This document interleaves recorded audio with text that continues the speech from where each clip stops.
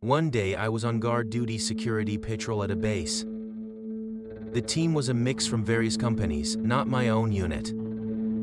Before I knew it, the day shift ended and we moved to the night shift. Past midnight, the whole base fell into stillness. As the monotonous duty dragged on, a young soldier from another company, alias Yeme, spoke up. I'm quitting when my term's up. This sparked an energetic conversation despite the late hour. Somehow we got to talking about when he first enlisted.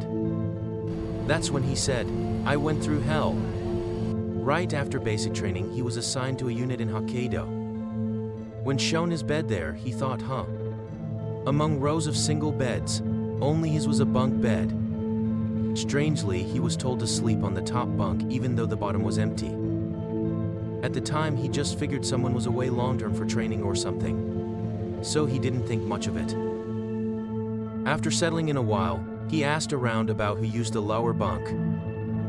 Oddly, he was told it didn't belong to anyone. When he offered to sleep there instead, he got a firm, no, sleep on top. Though the situation seemed off for hazing, he reluctantly took the top bunk.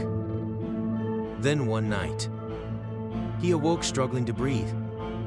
Next to the bed stood a figure, he said. Despite the room's faint brightness after lights out, the person was a solid black mass with no discernible face.